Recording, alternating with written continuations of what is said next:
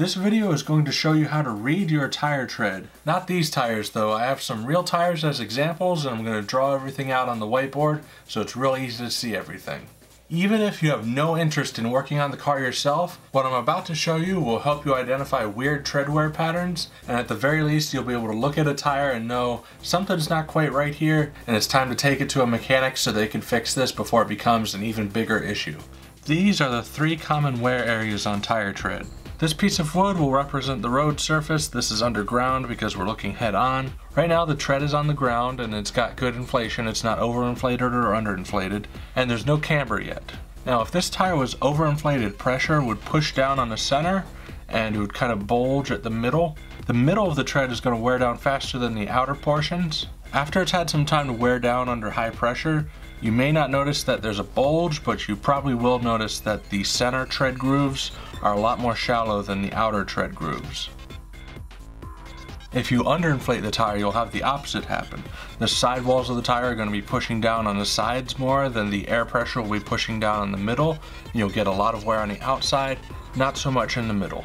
And again, that tread may look like it's worn flat, but the tread depth on the outside is going to be a lot more shallow than the tread depth on the inside. Now that's just tire pressure. What happens if we start working with camber? Let's tilt the tire for a camber. With too much camber, this tire is going to wear down on this edge mostly and you'll end up wearing it down like that. With enough camber, this side will wear down to the cords of the tire before this side of the tread even sees any pavement. That camber level is a bit extreme, but it's just to show you what it would look like. It may end up being like this, and you still see a lot of wear on one side versus the other. You can also have combinations of problems which may make it a little harder to diagnose, but it's not impossible. Now we already know if we have too much camber and the tire's leaning this way, you're gonna wear out this side real fast.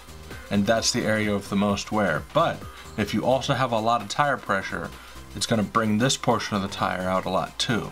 This is going to be a tough one to diagnose because most of the tread is in this area where there's accelerated wear and only this area has less wear. This area over here is going to have less wear, but because the heavy wear area is dispersed over a greater surface area, the difference is going to be less extreme. On the other hand, let's say we're still working with too much camber in this direction.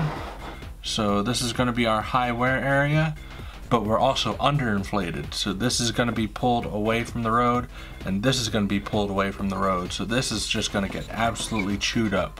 This is going to look like a really bad camber problem. You're going to be excited and go, I know exactly how to fix this. And you're going to make the adjustment on the car and drive away and you might just forget to check the tire pressure. You should always be checking your tire pressures at least once a month. Don't forget the basics. Another thing you're going to want to look out for is feathering of the tread. Normal tread blocks are going to be kind of flat in line with each other. Feathered treads on the other hand kind of have a ramp shape to them and they're going to make a lot of noise. I drew this with an exaggerated look so you can see it on camera, but on your own tire, clean off a section of tread and then feel it one direction and then the other.